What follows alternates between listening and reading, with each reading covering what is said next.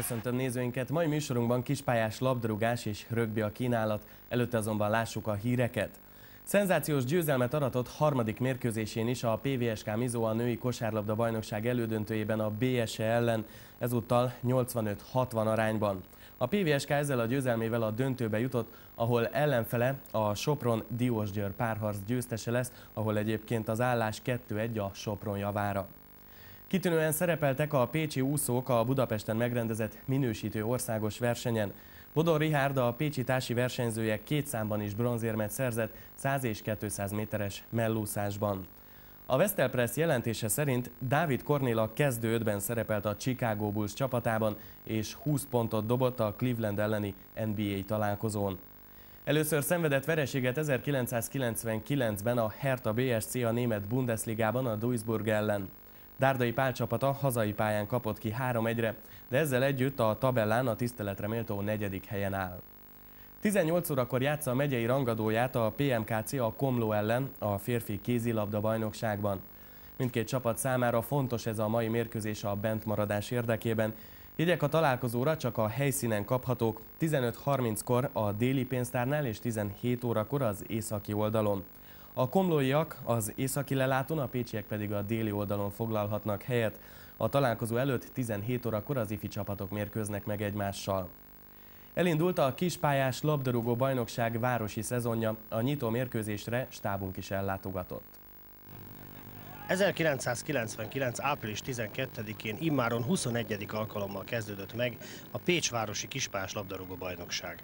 A tudósításunk elején azt is mondhatnánk, hogy ebben semmi különös nincs szerencsére, ugyanolyan népszerű, ugyanolyan nagy tömegeket vonzó, mint az előző 20 évben volt. Megújult környezetben itt a PVSK pályán indul a Superliga első osztály, két másodosztály és két harmadosztály, ez ugye hat csapat, és négy csapat a bőrgyárpár harmadosztályjal, azok az itteni csapatok tíz fővel, tehát, illetve tíz csoportos az osztályok, ott meg öt csoportos, tehát idén öt csapattal kevesebb indul, nem száz, mint tavaly, hanem csak 95 csapat indult, de ez nem azt jelenti, hogy kevesebben jelentkeztek, ebből a tavalyi száz csapatból már tavaly öt lemorzsolódott, és ez, ebből adódik, adódott az, hogy idén csak 95 csapat indult a Városi Kispályás Bajnokságban hanem már valamilyen kép arról, hogy például a feljutók hogyan szerepelnek. Én az előbb itt a Szuperligával láttam egyet, hogy mennyire erősödtek a csapatok, vagy mennyire gyengültek, vagy ugyanazok-e, akik voltak. Hát itt az első fordult, ha nézzük, a régi csapatok létszáma, összetétele nem igen változott. A fölkerülő két fölkerülő csapat is eddig megállt a helyét, mert egyik az döntetlent játszott, a másik az még majd most fog játszani az utolsó fordulóban, azt még nem tudom, mi lesz az eredmény, de azt hiszem eléggé kiegyensúlyozódott a mezőny.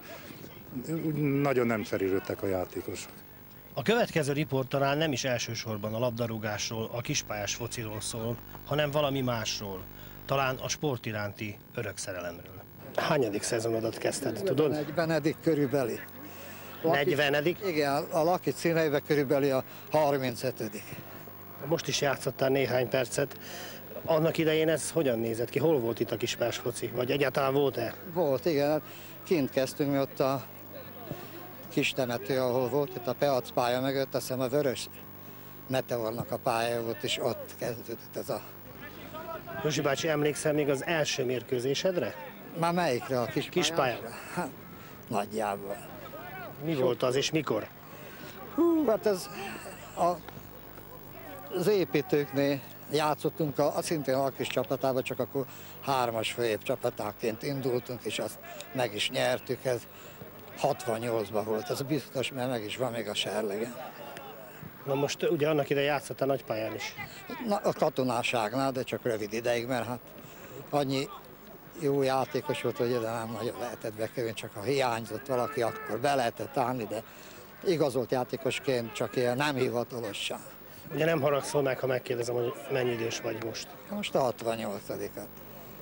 És még most is játszol? Lent szoktunk minden szombaton játszunk itt a Peac pályán. Öreg fiúkba szoktam, meg hát itt is, ha bekerülök, ha kevesebben vagyunk, vagy valami, akkor még megpróbálkozunk egy kicsit a játékkal. Most egy nagyon csacsit fogok kérdezni, mond, mi a, mi, mit szeret az ember itt a, ebbe az egész kispás fociba, meg itt a Hát szóval ebbe. Maga ez a közeg meg szerintem az ember nehezebben is öregszik meg. Látja sok fiatal srácot itt lótni, futni, és ha ez most nem lenne, akkor hát ez egy valami borzasztó. A kispályás labdarúgó bajnokság Pécsi Városi Bajnoksága tehát elkezdődött. A Pécs TV sportszerkesztősége pedig igyekszik minden alkalommal valamilyen módon hírt adni az eseményről. A rögbi MB2-ben a pécsi indiánok a Szentest fogadták, mint azt önök is mindjárt megláthatják, a pécsiek, a hazai csapat egy igen erős mérkőzésen szenvedett vereséget. A Pécsi Indiánok MB2-es rögbi csapata ebben az évben kitűnően helytált a bajnokságban. Több fiatal játékost adnak különböző korosztályos válogatottban. A legutóbbi fordulóban a Szentest fogadták, mely mérkőzés előtt két válogatott játékossal beszélgettünk. Svájcban, Iverdonban egy selejtező, ugye? És mi volt ez? Ez egy D-csoportos világbajnokság, ennek az volt a lényege, hogy az első helyzet tovább jut a C-csoportos világbajnokság, ami Franciaországban lenne Toulouse-ban. Milyenek voltak ezek a meccsek? Tehát, hogyha összehasonlítjuk mondjuk a hazaiakkal, akkor erős volt a mezőny, vagy mennyiben más? Erős volt a mezőny, de viszont a magyarok meglepetést okoztak. Most mentünk ki először az ifjúsági szerepelni, de hát még van mit tanulnunk. Keménységben, technikában, vagy szóval mennyire másabb játékot játszanak a többiek a rögbiben?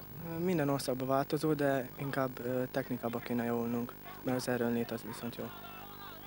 Hogyan történik a válogatást? Minden csapat küld játékosokat, tehát hogy a, az egyző dönti el, a csapat egyzője dönti el, hogy kit küld föl a válogatottba is. Ott, ott is megtörténik a válogatás, és így kerülünk ki Svájcba.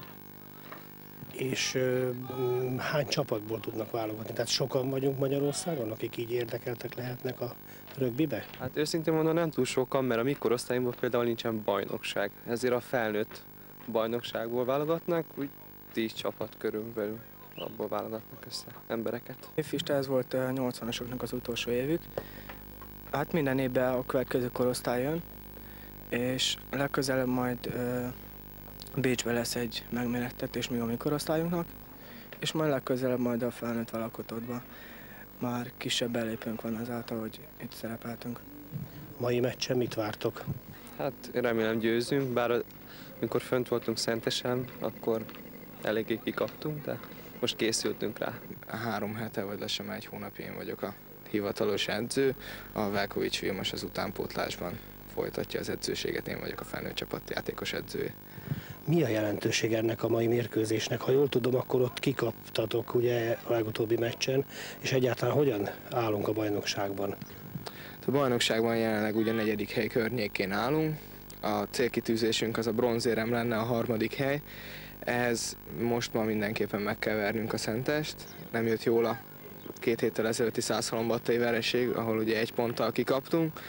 Úgyhogy a mai meccs létfontosságú, ezen kívül már ö, helyosztó meccsünk nincsen, csak vagy nálunk jóval fölött magasabban jegyzett csapattal, vagy nagyon gyengékkel játszunk, úgyhogy ez a meccs lesz egy nagyon húzós meccsünk, ezt mindenképpen meg kell nyerni.